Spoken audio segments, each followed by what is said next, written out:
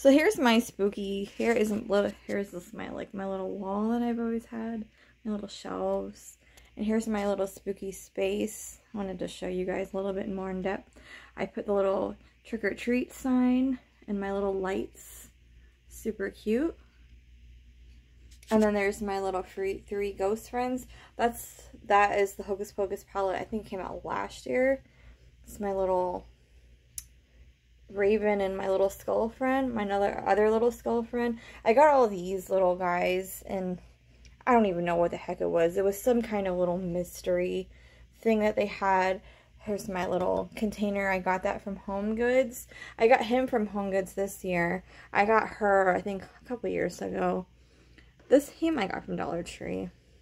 I think I got that from Dollar Tree. And then, like, I have all my spooky kind of makeup here that I just, the ones that I do love a lot. This brush set, my friend Cosmetics Queen had one, and I had to get it too. I have some crystals here to help protect me with anything. And yeah, that's just my spooky space.